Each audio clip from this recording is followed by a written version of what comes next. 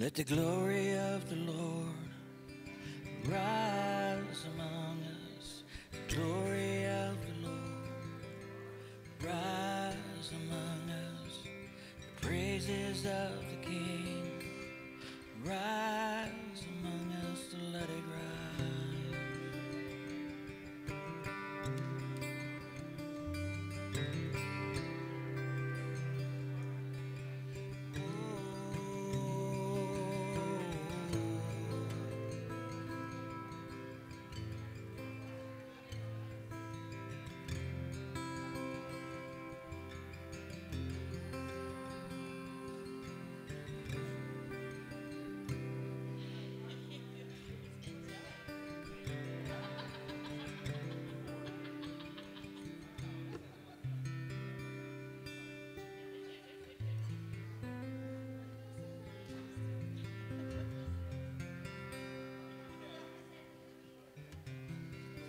Well, good morning, New Covenant.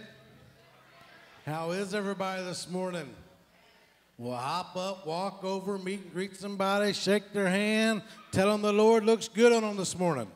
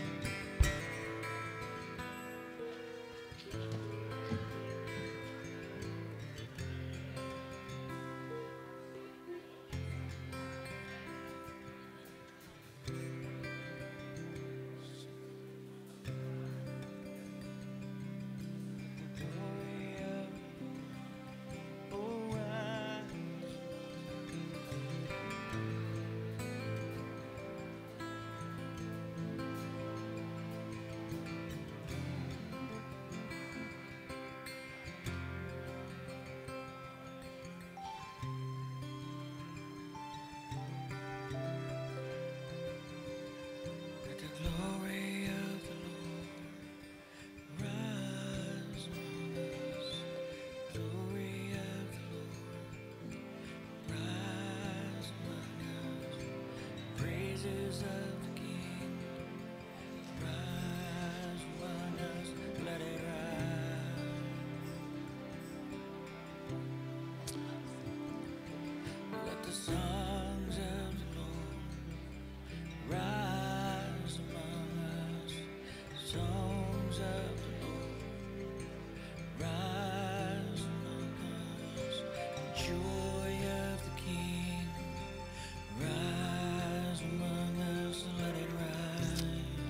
right, I've got just one quick announcement before we get opened up here. Um, next Sunday, we have guest speaker Andrew Murray from England. Um, he's wrote the book, uh, The Miracle Table, or My Table. Well, we use it a lot for communion.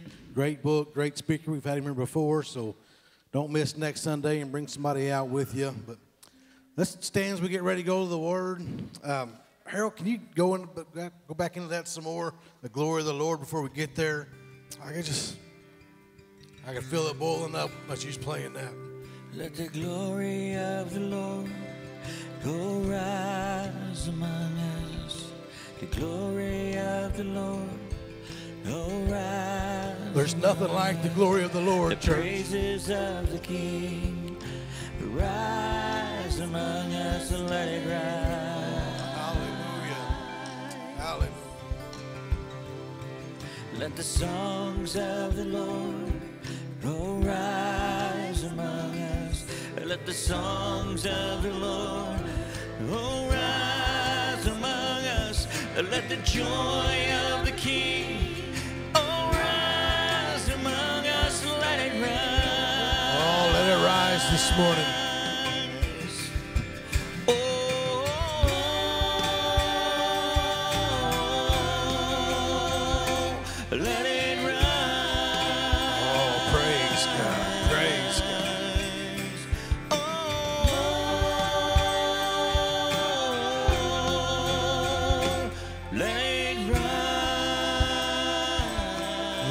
Psalm 118, it says, The Lord is my rock and my fortress and my deliverer.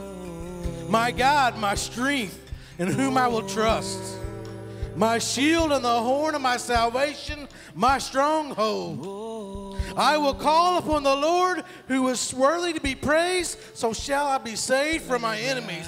I will call upon the Lord. Come on, church, somebody say, I will call upon the Lord. That's why we're here is to call on you, Lord. We come into your presence, Father. We call on you this morning. We call in the name of Jesus. Have your way in this place, Lord. We don't want to be here without you. Come on, somebody say, I call upon the Lord. Come on, I call upon the Lord. Oh, have your way in this place, Lord. We give it to you in Jesus' mighty name. Amen and amen.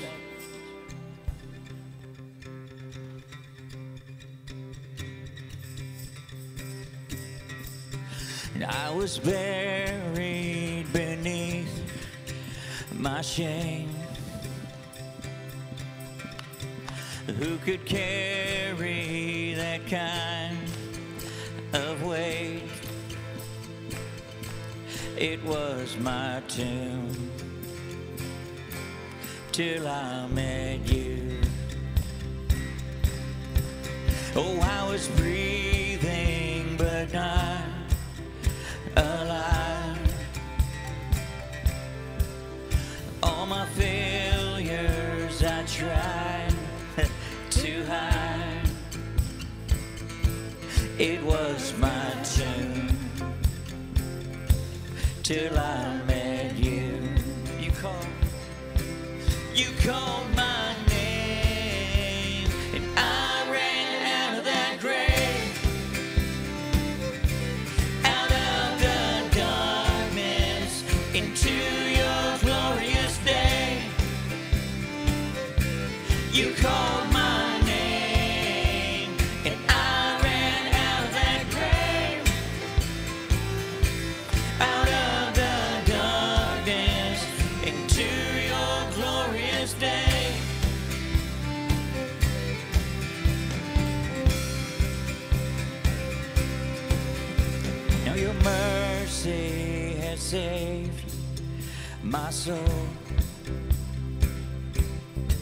And now your freedom is all that I know. The old made new. Jesus, when I met you, you called. You called my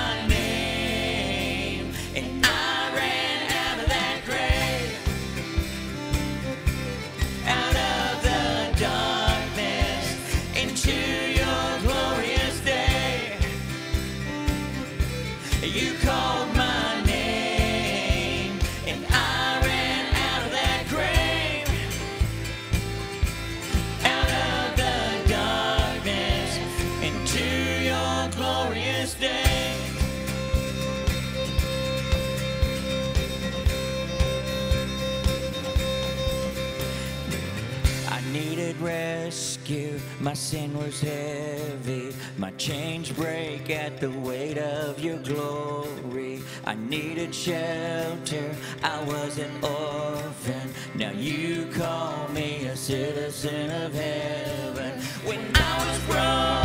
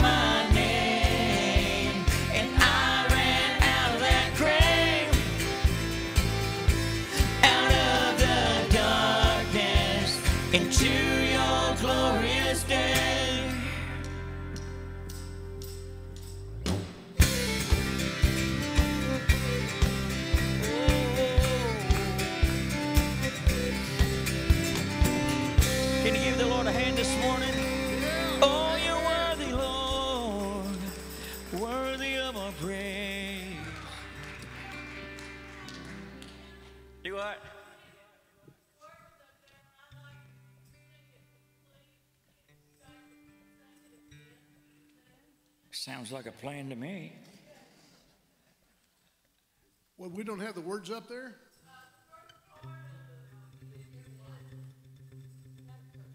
God calling Dylan. You talking about the first verse? It says, I was buried beneath my shame. Who could carry that kind of weight? It was my tomb until I met you. I was breathing but not alive. All my failures I tried to hide. It was my tomb till I met you. And then the second verse is the answer to that on the other side. Now your mercy, hang on a second. Now your mercy has saved my soul. Now your freedom is all that I know. The old made new, Jesus, when I met you. Amen.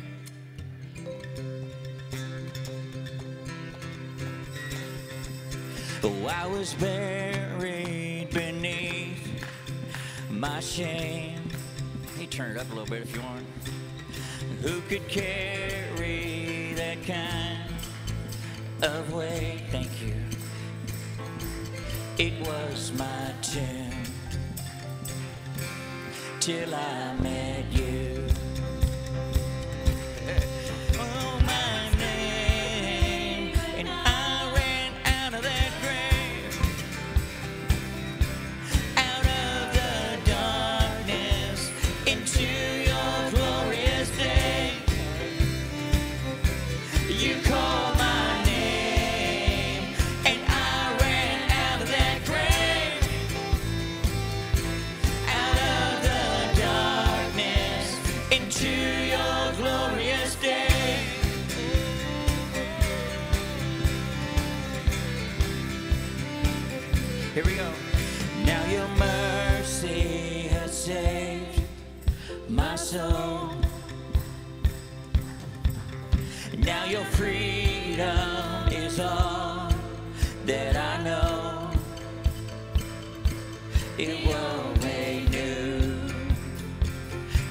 When I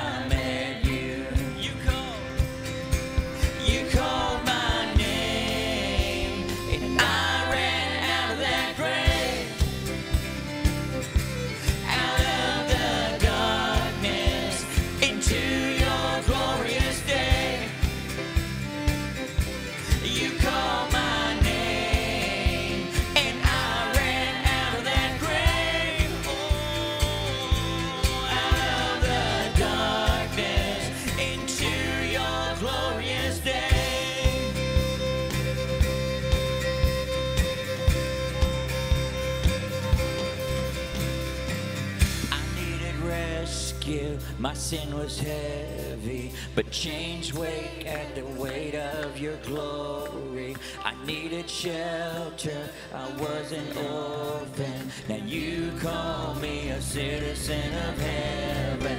When I was broken, you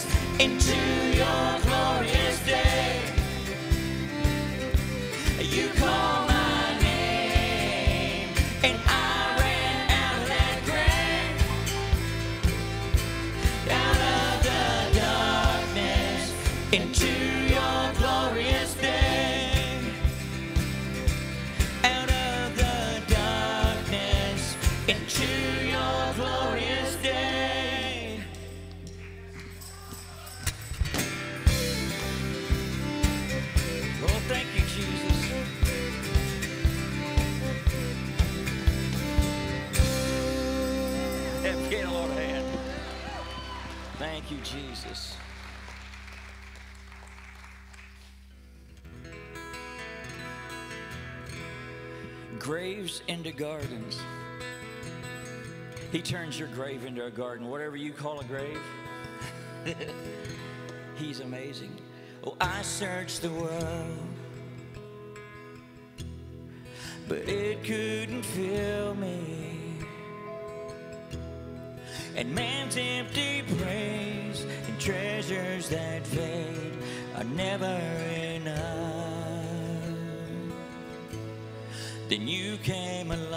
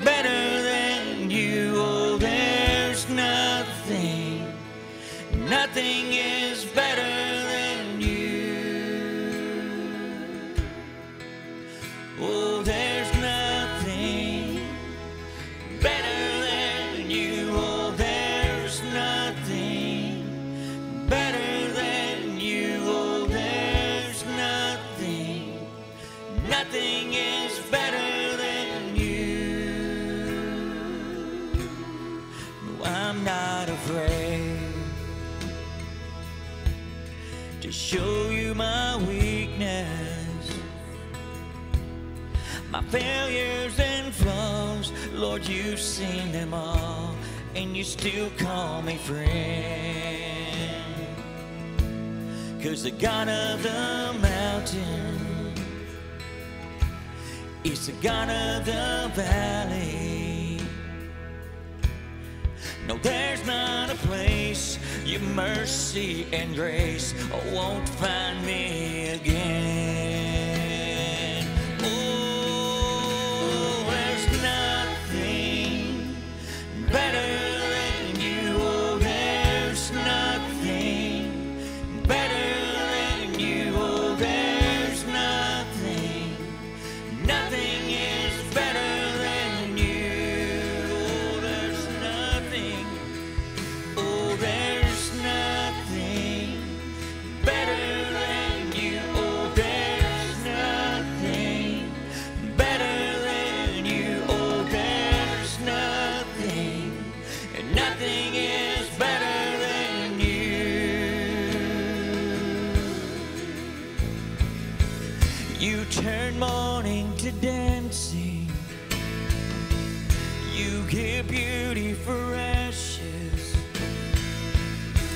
turn shame into glory.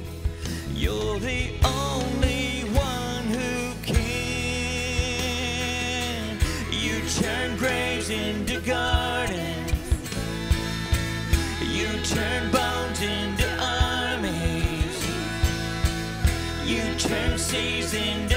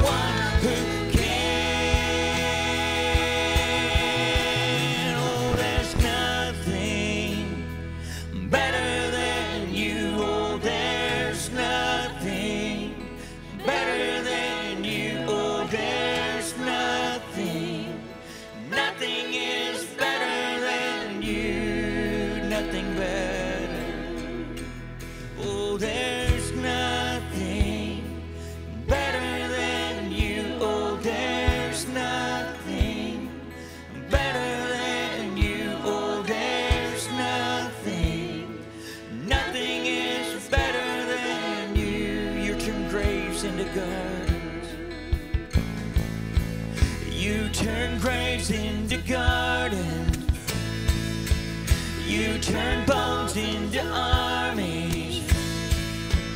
You turn sea.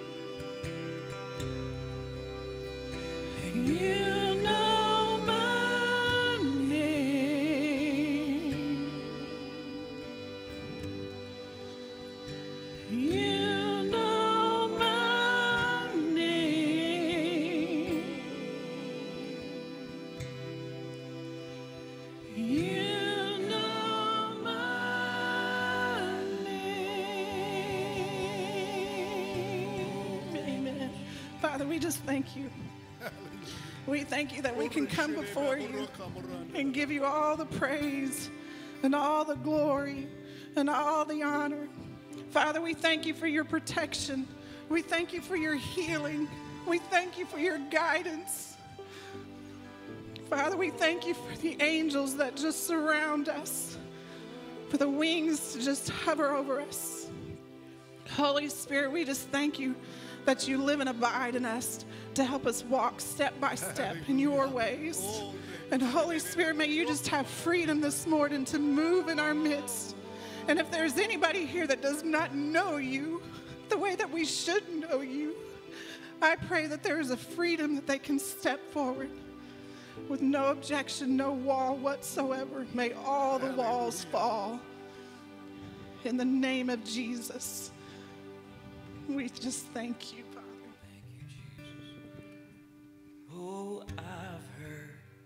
thousand stories of what they think you're like, but I've heard the tender stories of what they think you're like, but I've heard a tender whisper of love in the dead of night, and you tell that you're pleased and that I'm never alone.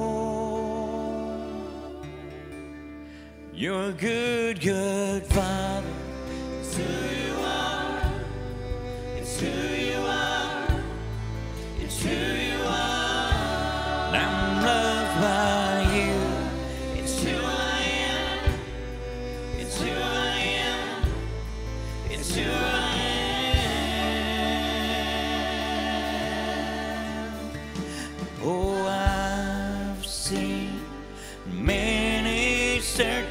for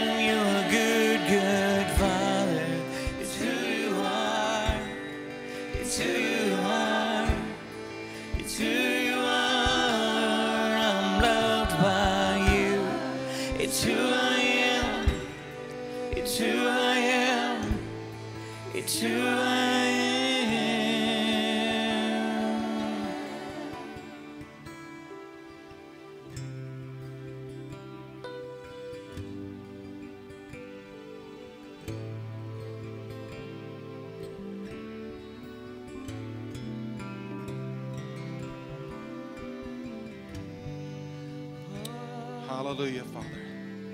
Thank you, Lord. It's who I am. Everybody say it. It's who I am. It's who I am. Hallelujah. Thank you, Father God. Hallelujah. You may be seated. Hallelujah. It's who I am.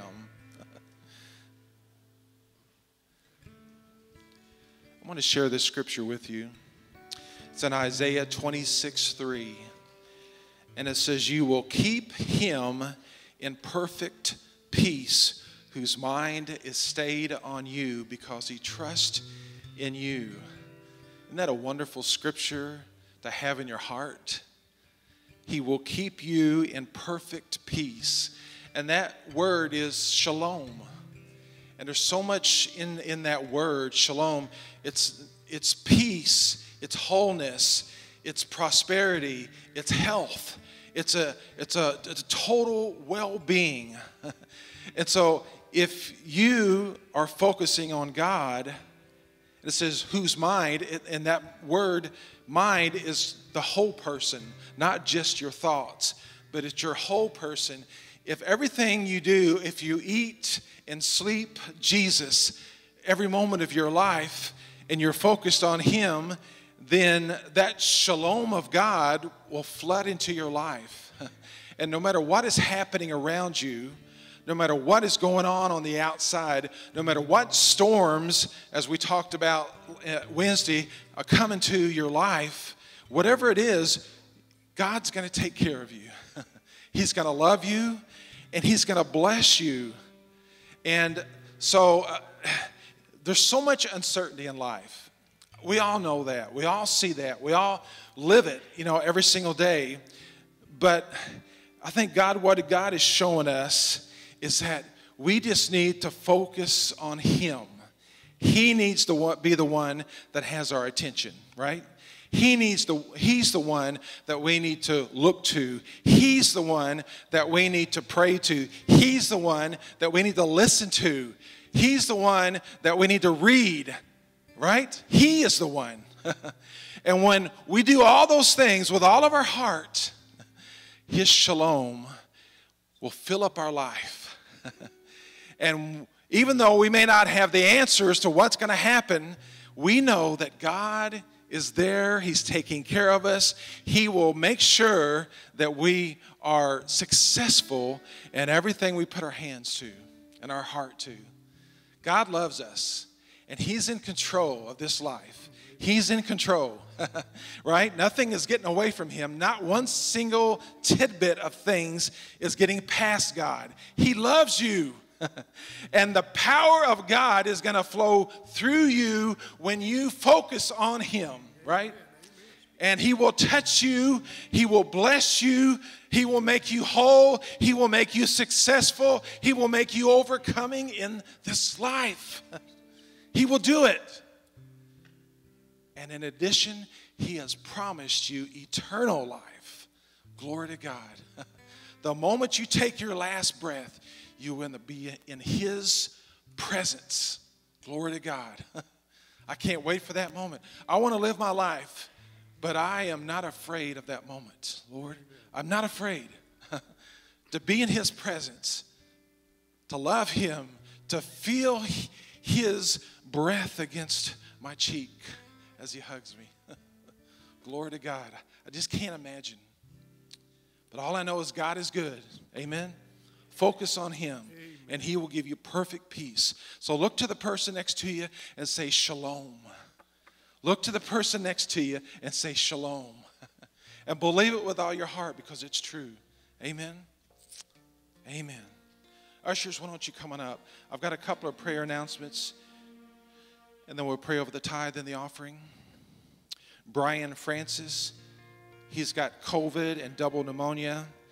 He's in uh, the Washington University Hospital in ICU. So we want to lift him up for healing and also for salvation in his life.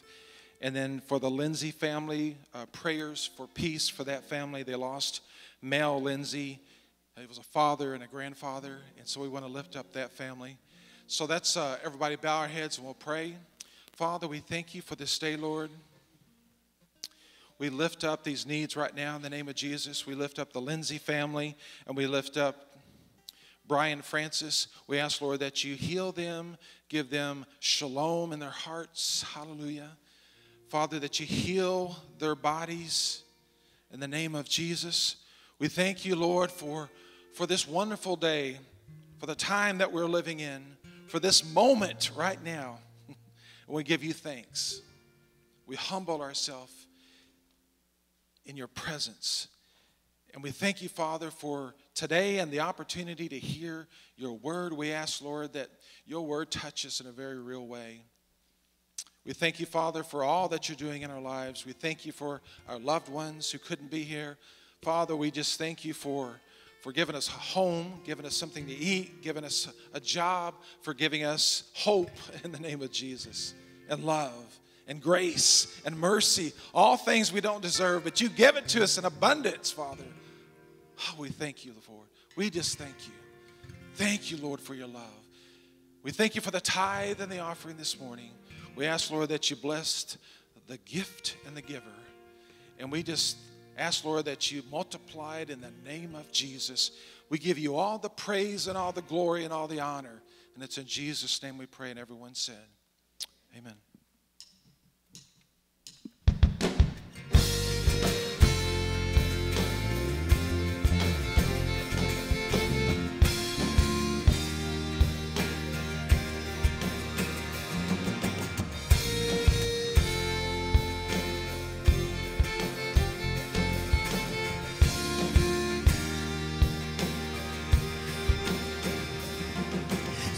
On this journey, I get lost in my mistakes.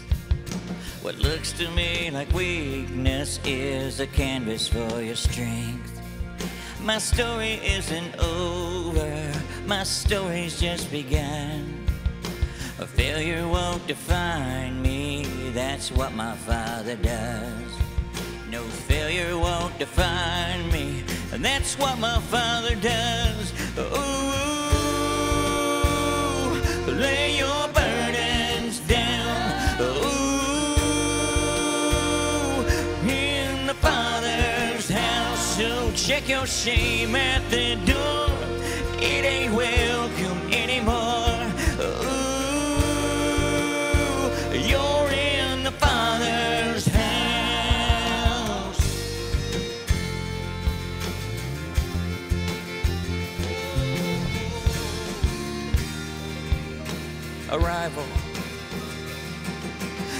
Arrival's not the end game, the journey's where you are. You never wanted perfect, you just wanted my heart. And the story isn't over if the story isn't good. No failure's never final when the Father's in the room. Oh, failure's never final when the Father's in the room. Ooh,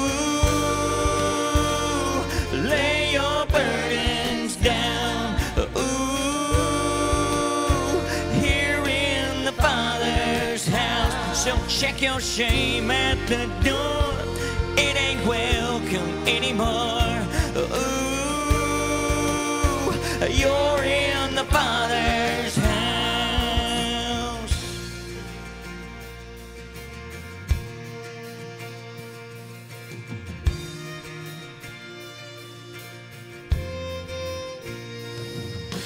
Prodigals come home, the helpless find hope. Love is on the move when the Father's in the room. Prison doors fling wide, the dead come to life. Love is on the move when the Father's in the room. Miracles take place, the cynical find faith. Love's breaking through when the Father's in the room. Jericho walls are quaking, strongholds now are shaking. Love is breaking through when the Father's in the room.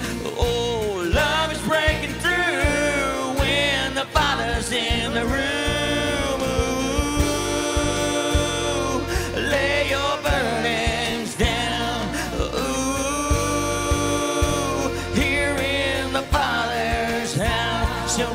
your shame at the door.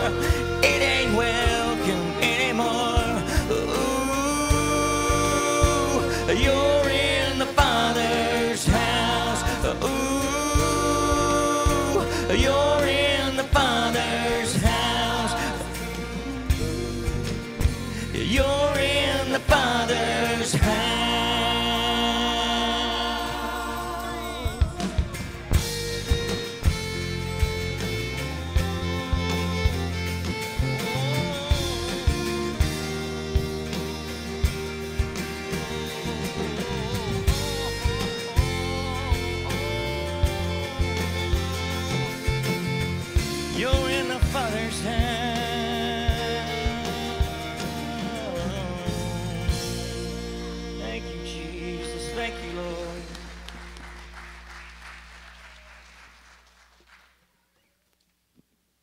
right, amen. So, the kids, you may be dismissed this morning.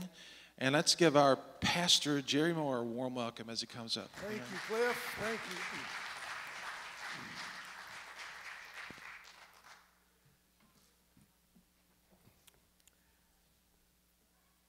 Father, we come before your presence, and I just ask that you would give me clarity of mind, clarity of purpose. And Father, I ask in Jesus' name that, Lord, the words that were spoken today, your words in particular, God will minister and will find residence in the mind and in the heart of all the people here. And Lord, may something good be for everybody. And I give you praise for that in Jesus' mighty name. And we all said a big amen, right? well, this message can apply to any occupation, to any person that's here. But since I'm in the ministry, um, I've checked out some statistics about pastors. And uh, this, the statistics that I'm going to be giving will be uh, really, I think it's a view of the ministry from the lower story. And if you've been here on Wednesday nights, you know what we're talking about. The upper story is God's view, the lower story is our view. So I came across some of these statistics, and over 1,700 pastors leave the ministry every month last year. I, I, find that so hard to believe. Over 1,700 pastors left the ministry in 2000. I'm, sorry, not last year, it was 2019. And over 1,300 were terminated by the local church. They were voted out. And I've been a part of that. Whenever you, I got voted in, I've got voted out. And, uh, and some of those who leave the ministry do so because they're calling into another ministry or another occupation.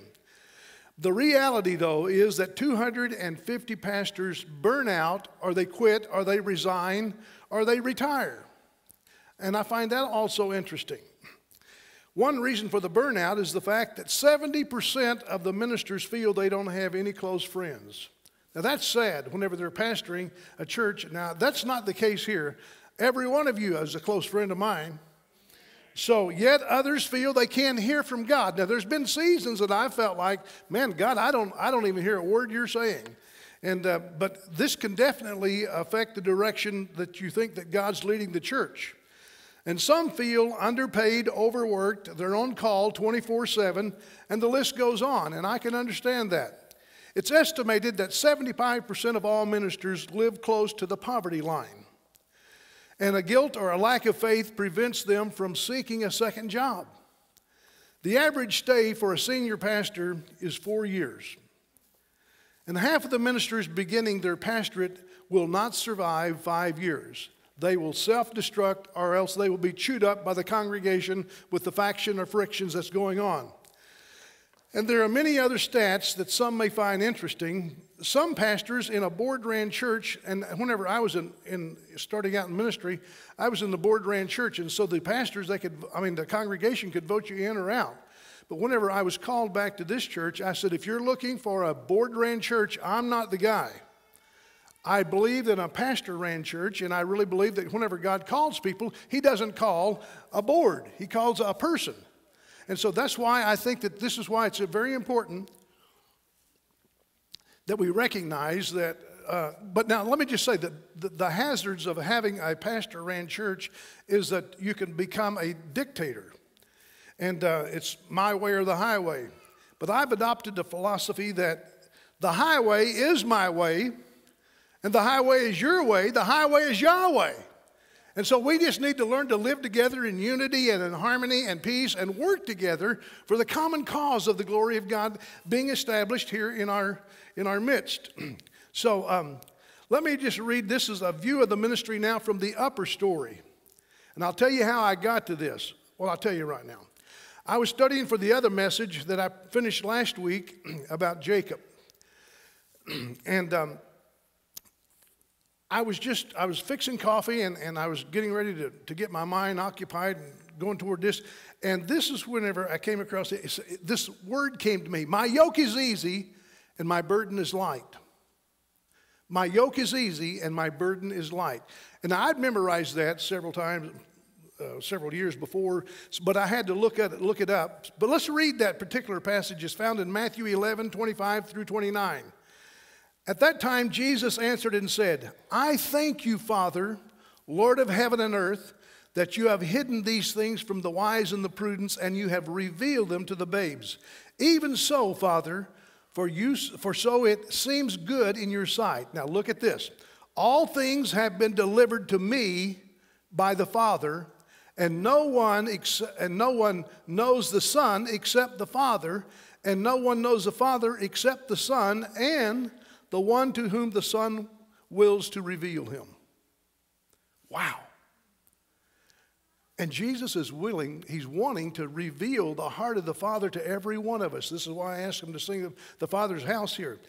Now he says, Come to me, all you who labor and are heavy laden, and I will give you rest. Take my yoke upon you and learn from me, for I am gentle and lowly in heart, and you will find rest for your souls because my yoke is easy and my burden's light. Now, that's a view from the upper story. Now, ministers that go through, I've been here 40 years, I mean, the average stay of a senior pastor is four years. I've been here 40, 10 times that.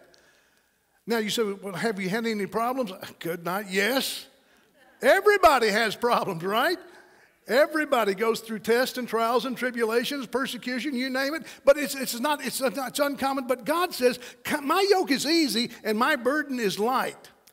And I'm going to be re- talking about the prodigal son in just a minute, how that the prodigal son reveals the heart of the father, as well as how the, the, the elder brother who stayed home, he also reveals the heart of the father.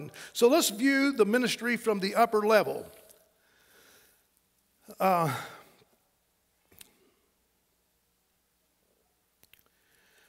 All things have been delivered to me from the Father. This is Jesus speaking.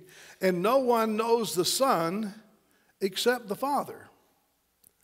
And no one knows the Father except the Son. Nor does anyone know the Father except the Son, and the one to whom I will reveal him the Father to. So he says, basically saying, I and the Father are one. If you, if you know me, you know the Father. So as God's going to reveal to us the Father God, even today, I trust that every one of us will get a, a really, you know, and I don't understand the Trinity, okay? I know that we've got the Father, Father, Son, and the Holy Spirit, and I know it's sort of like it's like water can be in a solid liquid or gas form. I understand that, but as for uh, that, that's just not a, quite a, a, an illustration for me to grasp the Trinity of God. And I know that He's God the Father and God the Son and God the Holy Spirit, they are all one. Yet, the Father says, or the Son says, I'm going to reveal the Father to whomever I want to. And so, and then the Holy Spirit, I'm getting ahead of myself here. Let me go back here and just start reading this right here in John 17 20. This is whenever we get a revelation of the Father who reveals the Son. I do not pray for these alone talking about the disciples, but for all those who would believe in me through their word. That's us. So he's, he's, Jesus has already prayed for us that we'd get a revelation of the Father, that they may be one. Look at this. As you, Father, are in me and I in you, that they may be one in us, that the world may believe that you sent me.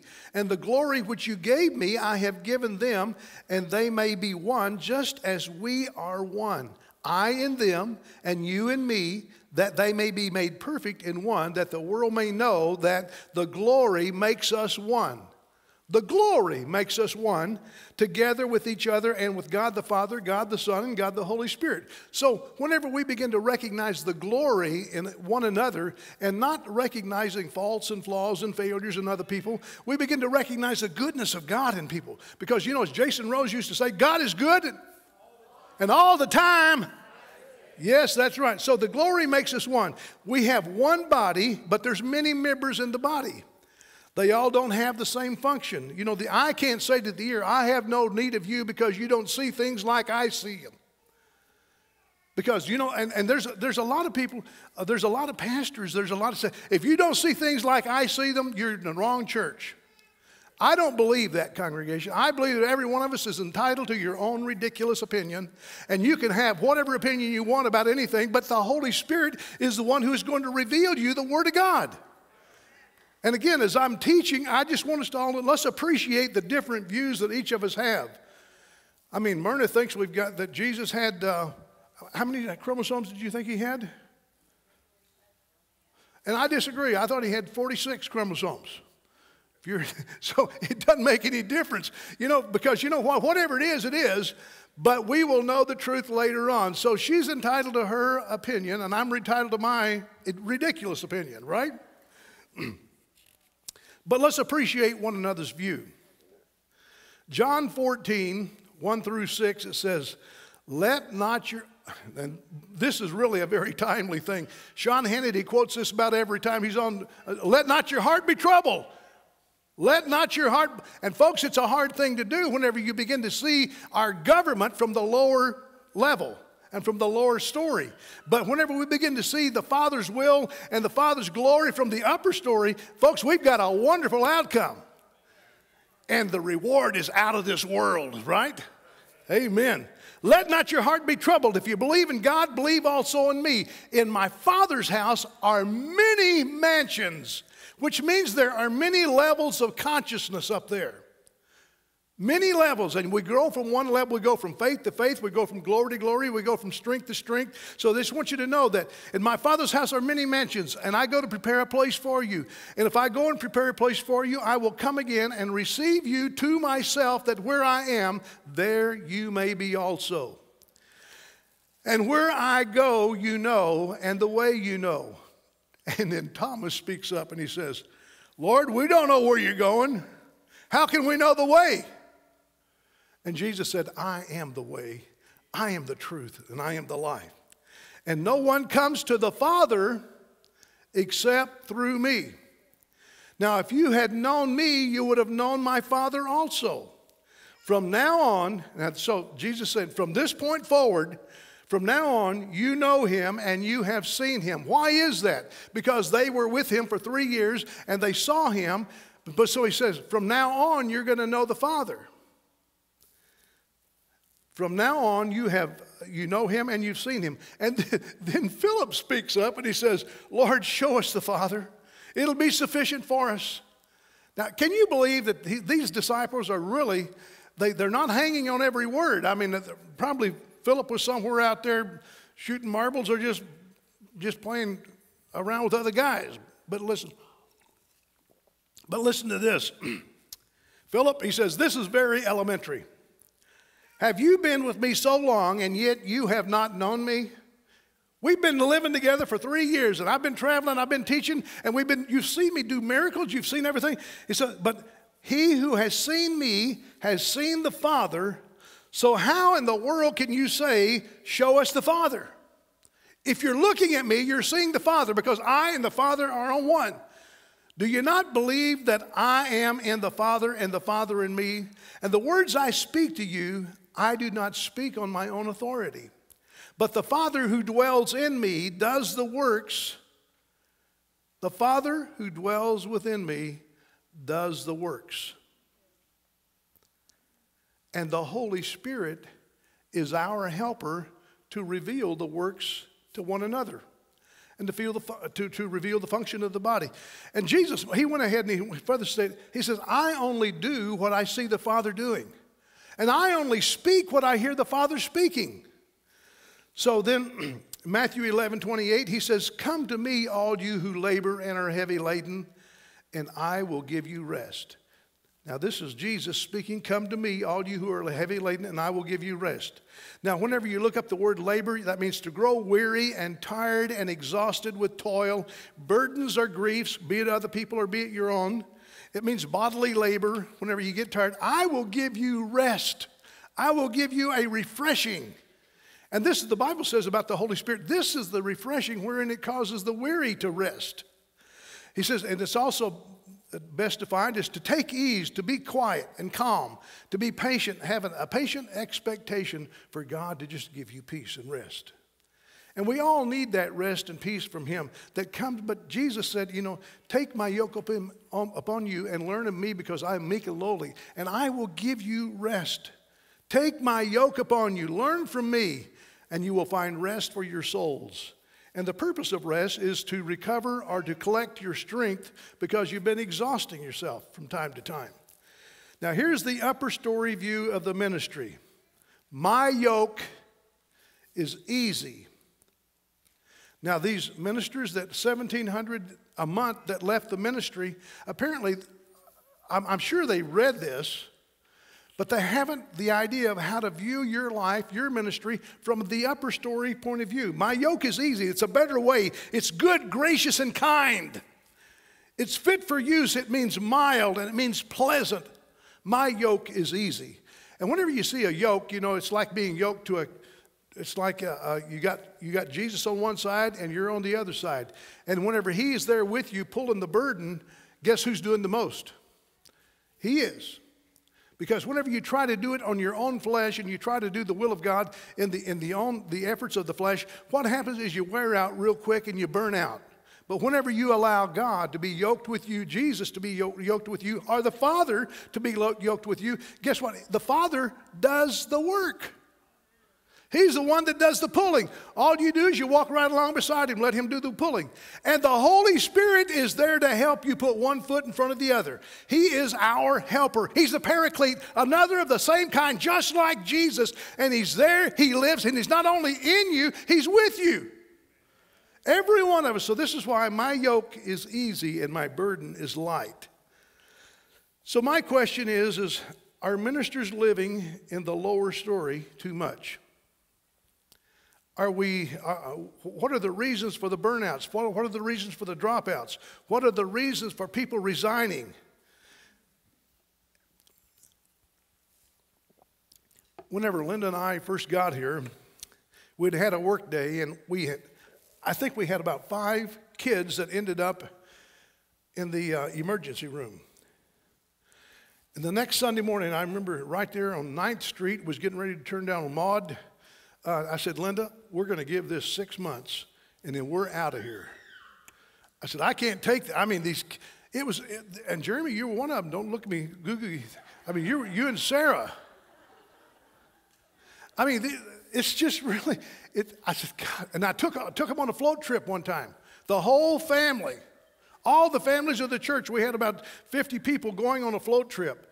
And folks, I'm telling you what, I have never been so scared in my whole life. Because Jeremy, you're just a little, just floating around, bobbing around, and, and not only that, but but Trav and Linda, they we, I mean, they're the adults in the room, and they turned their boat over right as soon as they got in the canoe. They turned it over, and Travis lost his billfold. I hope you're happy, Travis. Did she say amen? I'm exactly right. But we had, a, and then we had a baptism along the way. So I mean congregation, this is just, you can see why I was getting burnt out real quick and I had him started. I was just on fire. And I said, Linda, we'll give it six months and then we're out of here. But, folks, that six months turned into six years, and six years turned into 40, and we're still here. To God be the glory. Thank you. Thank you. But I think that so many times we get used to living, and again, I, I didn't know coming here from Sikkim about how to be a pastor. Never been one before. But you know, I really realized to dwell above with those we love, that is glorious. But to dwell below with those we know, well, that's another story. And so trying to live and work with all these people is really, I mean, it was just crazy. And then um, but the goal and the purpose is to live, uh, this is my opinion, the goal or the purpose is to live in the lower story with the upper story, the mindset or the viewpoint. Is to live with God's mindset because he says, You're in the world, but you're not of the world. So therefore, we have the mind of Christ. 1 Corinthians 2.16, we have the mind of Christ. If that be the case, why can't we use it? It's like having money in the bank that you don't spend. So we have the mind of Christ. And, I t- and, and, the, and the fruit of the Spirit is what? Love and joy and peace and long suffering and gentleness and goodness and faith and meekness and temperance. Anybody need any of those? Well, that's where we, we get them, is from the Holy Spirit. And so I really think that this is exactly how Jesus lived with us with the upper story mindset, especially with Philip. Philip says, The Lord, just show us the Father and we'll be happy. Philip, how long have you known me? If you've known me, you know the Father. If you've seen me, you've seen the Father. Or else, and he says, not only that, but if you don't believe that, believe me because of the Father's workings. You know, um, I want to show you this. I have preached on Luke chapter 15 several times about the prodigal son and about the elder brother, but I really haven't seen this from the father's point of view. So let's turn our attention to the uh, Luke 15 about the prodigal son and how these two sons revealed the father's heart and they brought uh, action toward their father each time. Now let's read this. This is found, uh, Luke uh, 15 11. Then he said, A certain man had two sons. And the younger of them said to his father, Father, give me the portions of good that falls to me. So he divided, the father divided to them. So the elder brother got the same amount as the prodigal son.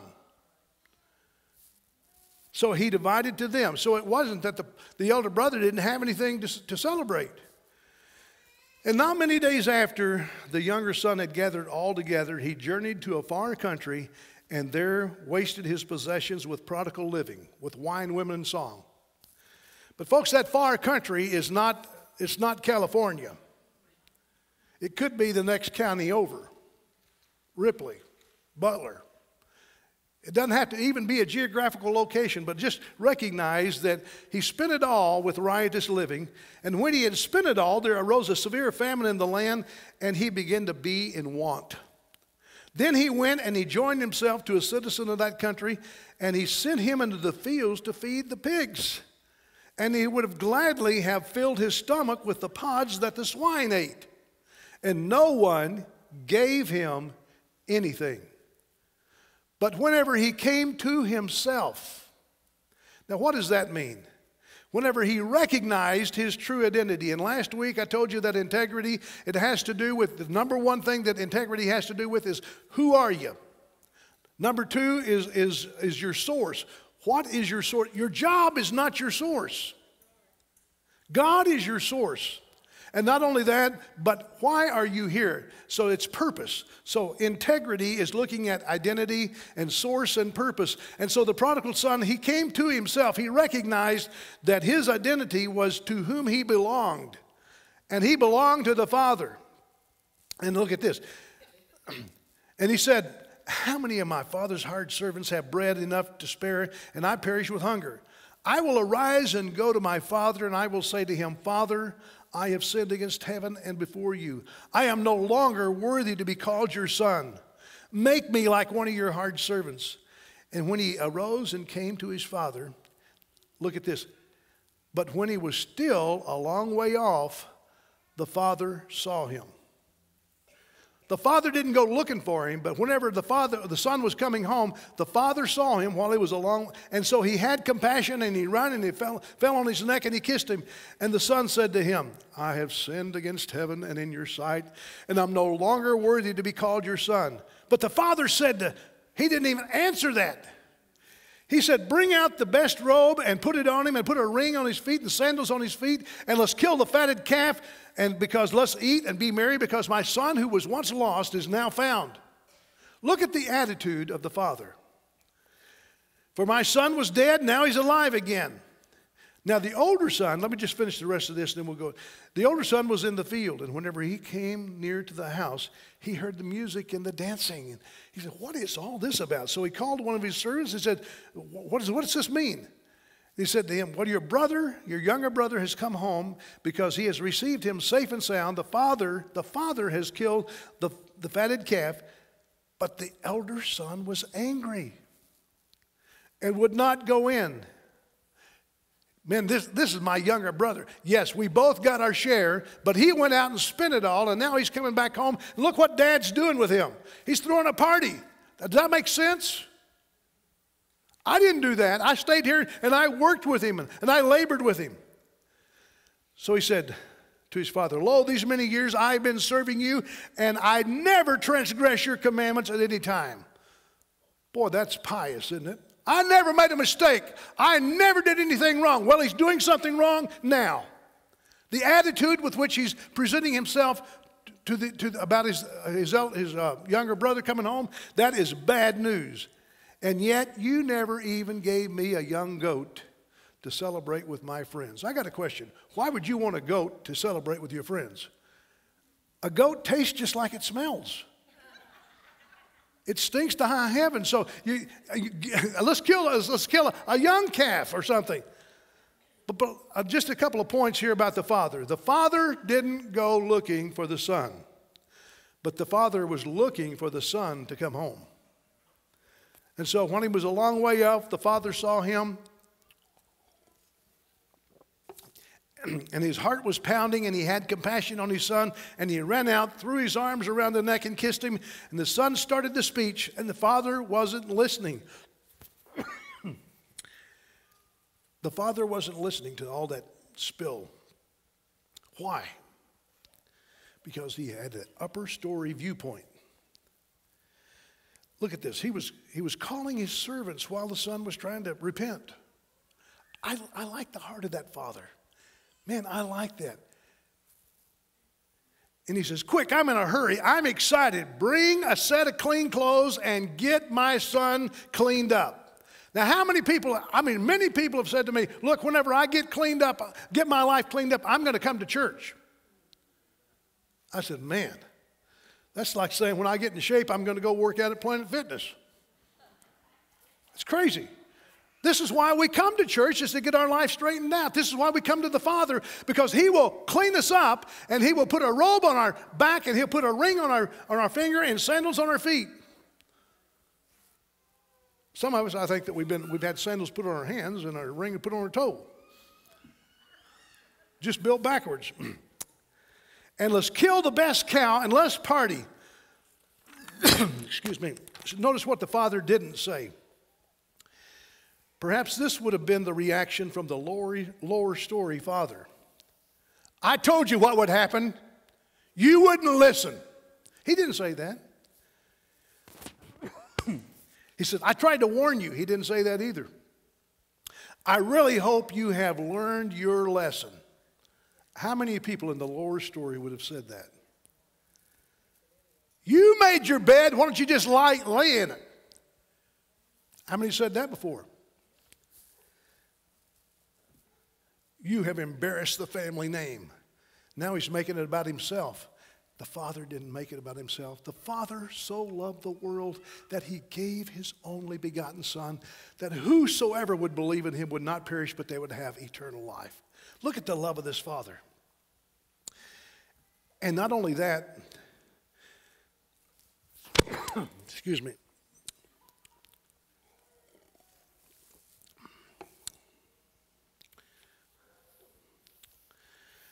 The attitude of the father was one of celebration.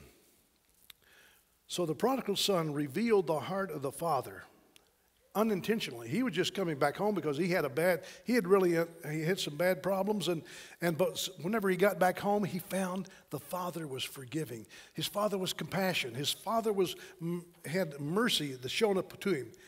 And the elder brother, Father, you haven't even given me a goat. He said, Son, I've given you everything. All I have is yours. Everything that you've got, that I've got is yours. All you got, you've never asked me for a goat. And folks, the Bible says we have not because we ask not. So you've got to you've got to ask before you can get. I'm going to close with this passage. Excuse me.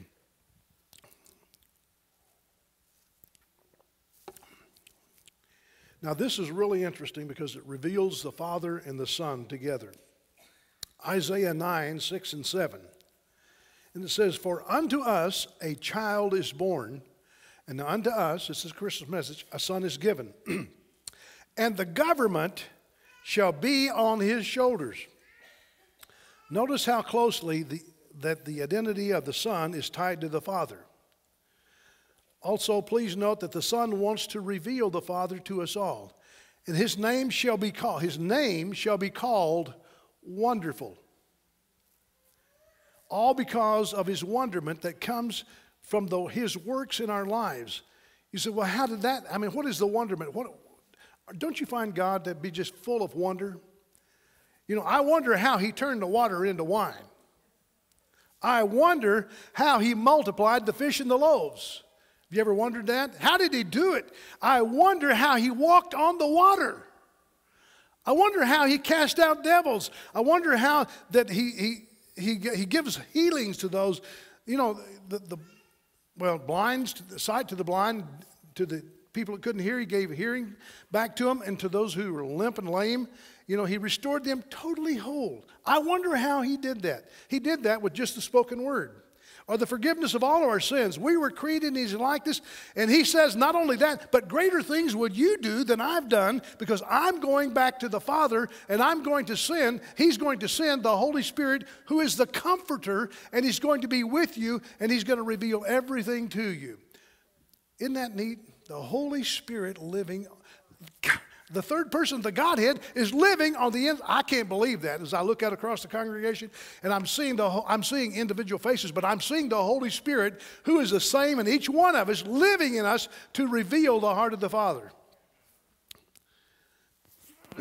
and he says his name will be called Wonderful and Counselor. He gives us all wisdom and counsel on projects and on our past. You're not defined by your past. Keep in mind, keep that in mind. You're defined by who God says you are. And He says you are the righteousness of God in Christ. And He said, There is therefore now no condemnation to those that are in Christ Jesus. And if you're in Christ Jesus, you're in the Father because if you've seen the, you've seen the Son, you've seen the Father. And this is where we all are one body. And this is how it's all going to sum up. We're going to have one body, eh, and we're going to be the bride of Christ, and we're going to be living with Him forever. and He said, There's a mighty God. You know, God is not a wimp, and He's not politically correct, nor does He care to be. He is His own boss, and He sets the standard. No one is greater than God. Can you say amen to that? And His name, now notice this. And this name, his name is called Wonderful Counselor, the Mighty God, the Everlasting Father. This is the name that goes to the Son. So these are the, so the, Jesus said, you know, I and the Father are one.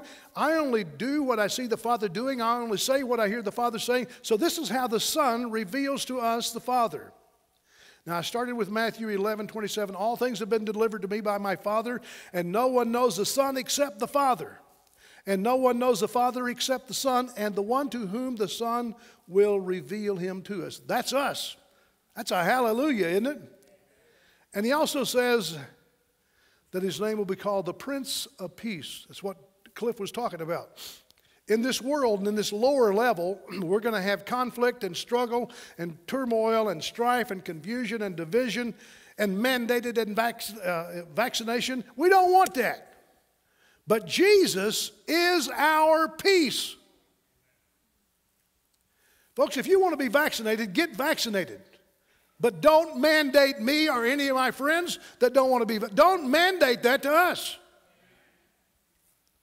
I mean, that's just nuts. But everybody is entitled to make their own decision on that particular part, right? but in the middle of this chaotic environment, God is our peace. He is our stabilizer. He is our gyroscope. Whenever the wind is blowing the ship all about, the gyroscope keeps us right on course. He is our peace. And in the middle of these chaotic environment, God is creating destinies and true identities and people who would discover their purposes in life and their eternal callings in God, which is still a mystery for most of us. It's still a mystery to be revealed at a later time. And now notice with this, and of the increase of his government and his peace, listen carefully, there will be no end. Hallelujah. We don't have to wait till the, till the Republicans get back in or the Democrats get back in. We, we got to recognize of his government, there is no end. It's forever, it's everlasting, it's, it's an eternal now, if you will. so let me just close with this statement, paragraph right here. Our Father is all knowing. He knows there's not one thing. You know, a, a sparrow doesn't even fall from the sky unless he notices it. Our Father, He knows everything you're dealing with. He knows every situation that, is, that you're involved in. He knows every thought that goes through your mind. He knows every hair on your head. He knows everything about you. He knows where you came from. He knows where you are. He knows where you're going. So the Father is all knowing. The Father is also all powerful. He's the mighty God. There's nothing He can't do. And all things are possible to who? To those who believe. So let's just believe the mighty God, right? And He is ever present. He never ceases to exist. David said, You know what? I was once young and I'm now old, but I've never seen the righteous forsaken nor his seed begging for bread. And he says, Even if I make my bed in hell, he's down there. I heard about this pastor that, uh, black pastor, he said that, you know, he says, Moms, you and your dads, he said, all your kids are going to hell because of these automobiles. I mean, they are, they're doing drugs in them. They're doing all kinds of things. They're robbing and getting away from the police, you know. And so this, these automobiles are sending your kids straight to hell. And one lady said, well, mine's son drives a GMC. He'll be back. Toyota, you can do, put a Ford, whatever you want to put in there. But he will be back. Folks, but it's talking about hell. There is no back door in hell. So you don't want to go there. You can't escape.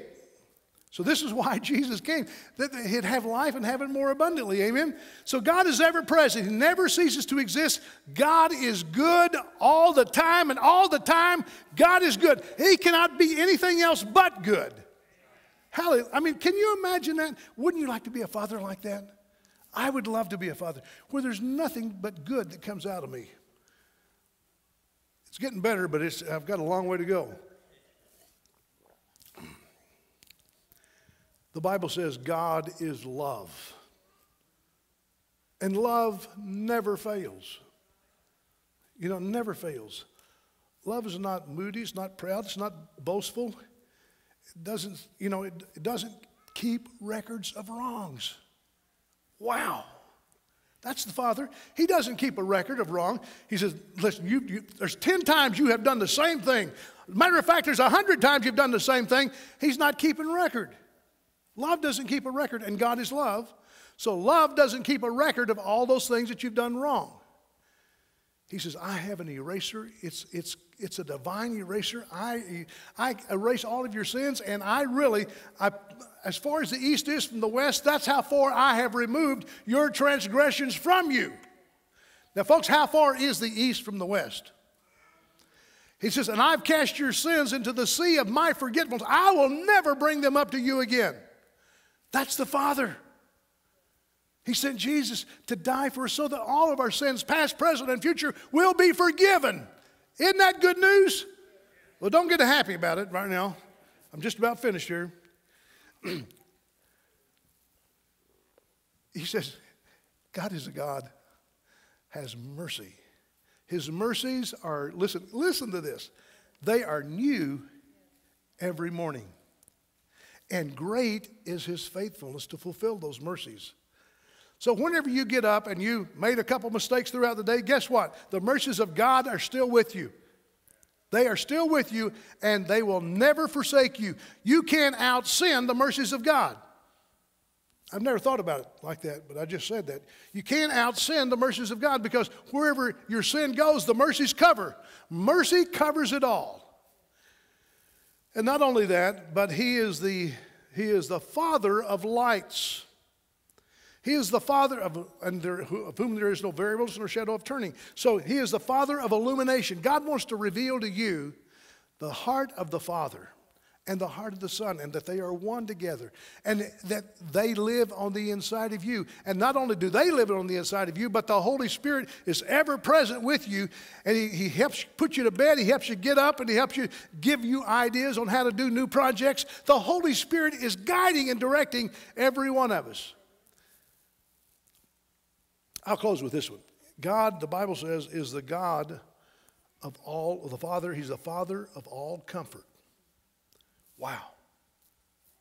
So you may be going through a turbulent time in your life.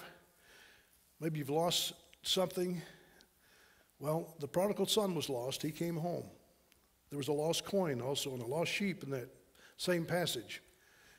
And, and every time, God comforts. He helps you find, restore, regain, and, and, and really, uh, not only that, but to recover. And He's the God who wants to give you peace. And of His kingdom and of His peace, the Bible says, there will be no end. Aren't you looking forward to that? Well, He's right here now. The kingdom is here. The kingdom is on the inside of every one of you, so you've got to learn to see life from the upper story level. You've got a viewpoint. Get that in your mind that you can have that right now in this nasty now while you're living life. Amen? Well, I trust that hope helps somebody. So, Curtis, would you come right now? We'll dismiss us in prayer. Praise God. Good word, Pastor. Let me, can I just say one more thing? No, sir, you're done. it's good to have you home, bud. You know, there may be some people that are here that there may be one or two that you, have never met Jesus. With every head bowed and every eye closed, I'd just like to just say, you know, if you would like to know this Father that I've been talking about here, and you, and you haven't met him, or perhaps you have met him, but you haven't been revealed to him like that, would you just raise your hand real quick? Yes, see that hand? Thank you. Anybody else? You need to see the Father's heart. And so, this one that raised your hand, let's all stand right now. Everybody stand. I'm going to ask you if you come down. I'm going to pray with you. I'm going to pray with you. Come on down. Yeah. come on down.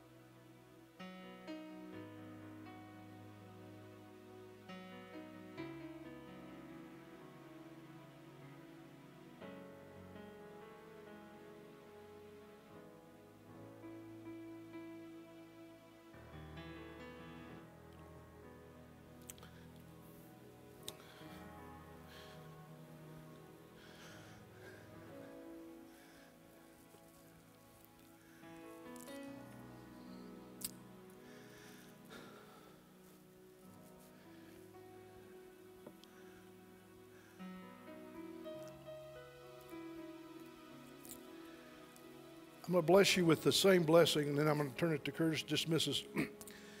it's really the blessings from number six. May the Lord bless and keep. Stretch your hands forward. Receive this now. May the Lord bless and keep you. May the Lord make his face shine upon you and be gracious to you, causing you to forget the past and press on to the mark for the prize of the high calling. That's his divine purpose in your life. May the Lord lift up his countenance upon you and give you peace. Amen and amen. Curtis. Amen. Say, I receive that. When somebody say, I am blessed, I am whole, I am healed, I am full of joy, I have peace beyond all understanding. I may not feel it all the time, but that's what the Lord says about me. If the Lord says it is true, and it's for me, and I receive it in Jesus' mighty name. Come on, somebody say, I am blessed. Oh, thank you, Lord. Thank you, Father, that you celebrate over us, that you love us, no matter how far we stray. Thank you, Father, for being you. Lord, let us learn to see ourselves as you see us. Oh, we praise you and we worship you. We receive all your grace. We receive all your mercy, Father. Let us show it to others as we go out. In Jesus' mighty name, amen and amen.